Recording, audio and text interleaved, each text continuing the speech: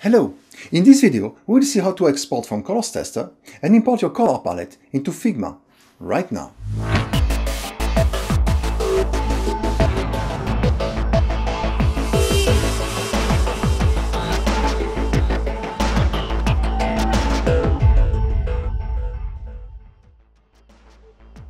Okay, I just logged in. Now I want to choose one of my palettes I created before. I did some researches.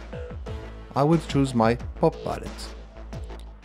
My pop palette is interesting because of the colors I chose, but also with the white I chose, I want to consider the export of the opacity of that white because it was part of my research.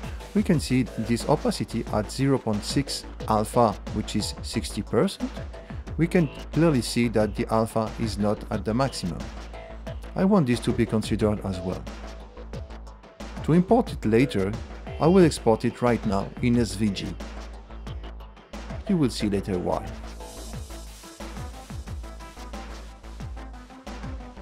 Here we are in Figma. To import the palette in Figma, we will work from the SVG we just exported before in Colors Tester.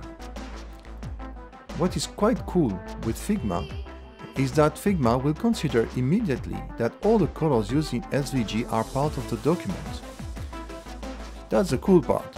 The bad part is that if you want to use it directly, it will also import all the other colors that are part of the SVG, that are not all colors we chose to export.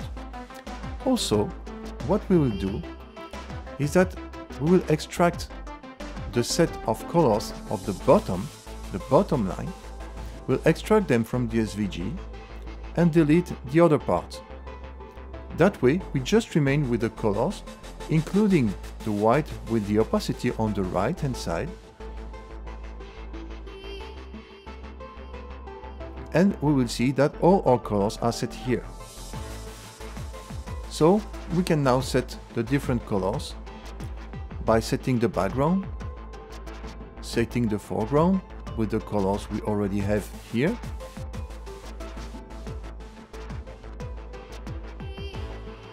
and play with the white with the alpha opacity, you see that the alpha opacity of the white is well maintained. And now, if we want to go further, we can also play with the gradients, with the colors taken from our color palette.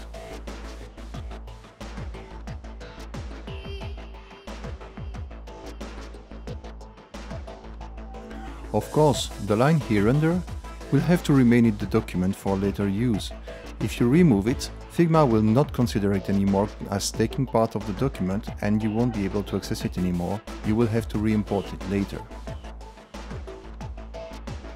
That's it for this video. You can access all these functionalities by buying a subscription of 3 or 6 months to the full version of Colors Tester.